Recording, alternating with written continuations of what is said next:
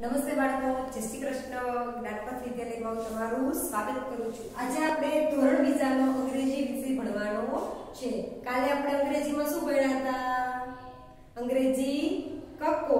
કયો? કા વાળો અંગ્રેજી કક્કો આપણે શીખાતા?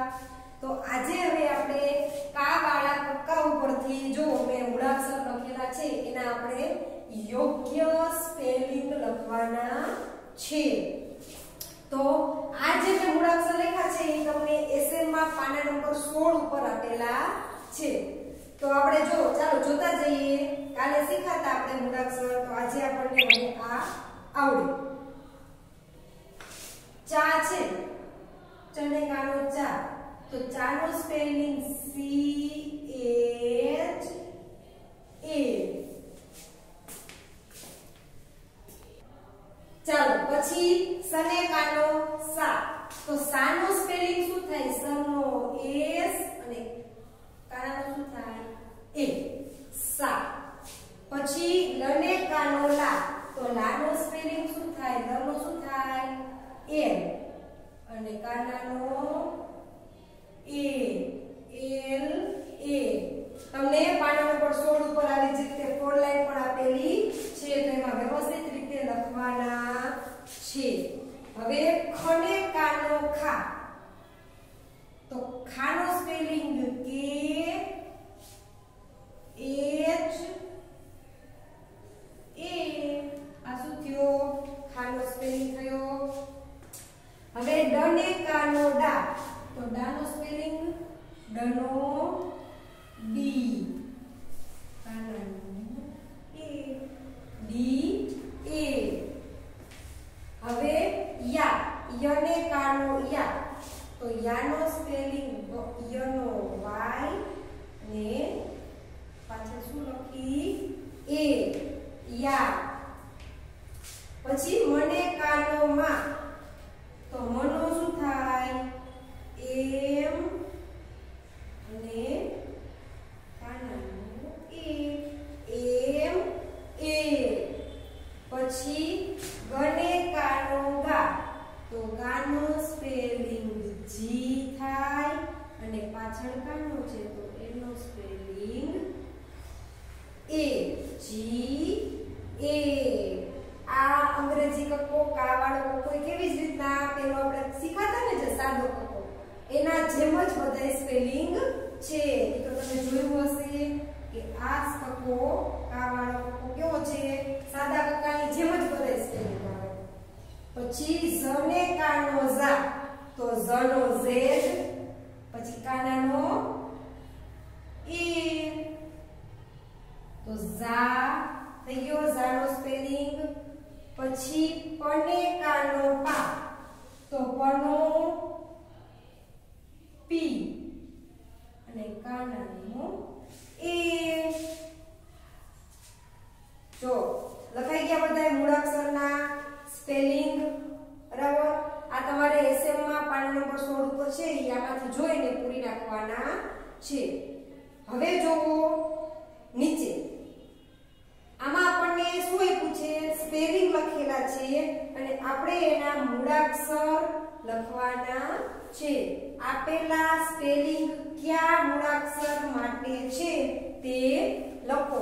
આપણને સ્પેલિંગ આપ્યો છે. એનો મૂળાક્ષર કયો છે? તો આપણે આમાં ઈ લખવાનું છે. તો જો, પેલો છે જી એચ એ. તો જી એચ એ છે એ કયા મૂળાક્ષરનો સ્પેલિંગ છે? યાદ આવે?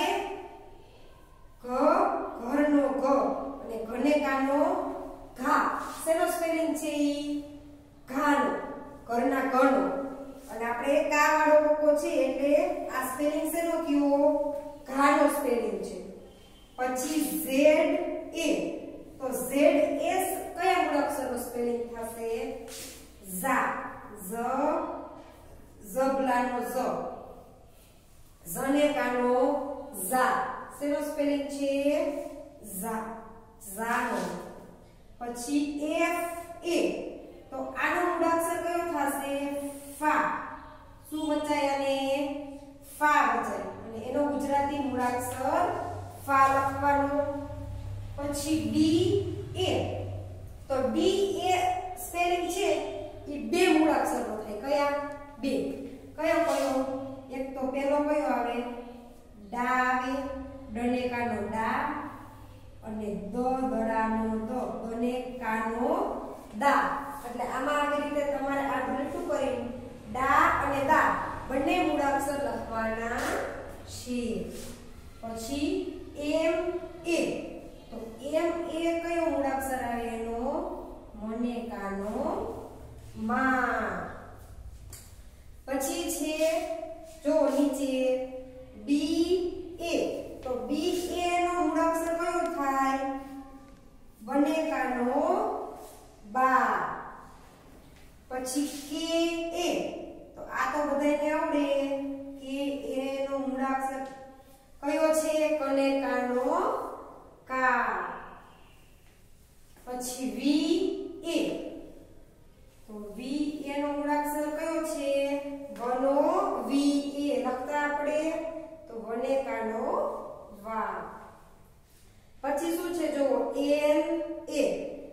એલ એ છે, ઈ પણ ડી, એ એટલે કે ડા અને દાની જેમ બે મૂળાક્ષર એના આવે. એલ એ નો પેલો તો આવે લનેકાનો લા અને બીજો મૂળાક્ષર અડનેકાનો અડા બે મૂળાક્ષર થાય.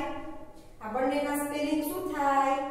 એલ, એ થાય. એટલા માટે આપણે બે મૂળાક્ષર લખવાના છે. પછી એસ એચ એ તો એસ એચ એ છે એમાં પણ કયા કયા મૂળાક્ષર આવે સ સ અને સ. શરણાઈનો સ. બે સના શું થાય? એસ, એચ, એ થાય સ્પેલિંગ. તો એમાં બે મૂળાક્ષર લખવાના. હવે આ તમારે આમાં જે મેં મૂળાક્ષર લખ્યા છે અને આમાં જે સ્પેલિંગ લખ્યા છે, એ પાના નંબર 16 એસએમમાં પાના નંબર સોળ ઉપર આપેલા છે. તમારે આમાંથી જોઈ અને પૂરી લેવાના છે. તમારે લેસનમાં શું? આજે હું તમને બુકમાં લખવાનું લેસન આપતી નથી. આજે તમારે ખાલી આ છે ને બે ટોપિક, પાના નંબર 16 ઉપર એસએમમાં પૂરી નાખવાના છે. ચાલો, નમસ્તે, જય હિન્દ, જય ભારત.